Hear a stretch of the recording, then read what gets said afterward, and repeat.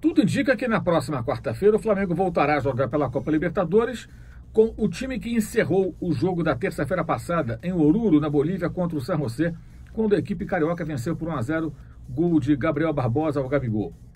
Com isso, o uruguaio Arrascaeta deverá ficar no banco.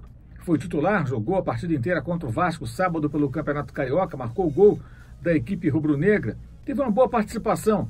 Poderia ter sido ainda melhor se tivesse acertado alguns passes em jogadas de contragolpe quando o Flamengo tinha boas possibilidades até de ampliar. Mas foi um avanço, foi um progresso. Mesmo assim, continuará de fora. Everton Ribeiro deverá ser o titular. Ele que começou sábado encerrou como titular o jogo de terça-feira passada na Bolívia. E isso vai significar, naturalmente, as voltas de, de Diego e também de William Arão ao time titular. É uma situação muito curiosa, porque o Arrascaeta é o jogador mais caro da história do futebol brasileiro nas negociações entre clubes daqui do país.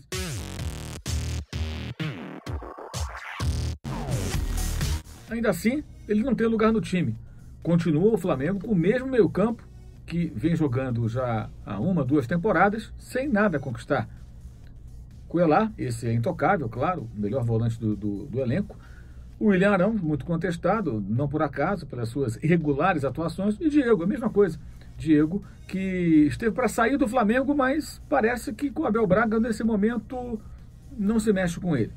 Situação muito estranha, muito curiosa, porque a tendência natural seria a Rascaeta, que custou tanto dinheiro, o Flamengo fez tanto esforço para contratar, chegou até a brigar com o Cruzeiro, que esse jogador fosse o eixo central do time, que a equipe fosse montada ao seu redor.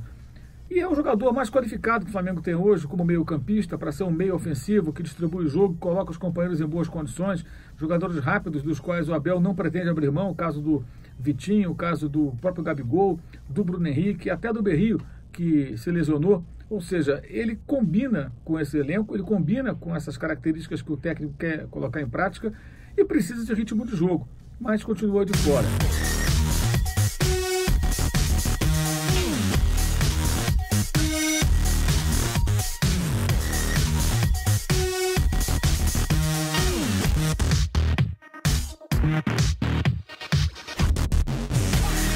É um negócio meio sem cabimento. Você contrata um novo jogador para agregar tecnicamente, mas ele não entra. É a escolha do Abel Braga, eu imagino que com o tempo ele vai acabar mudando de ideia.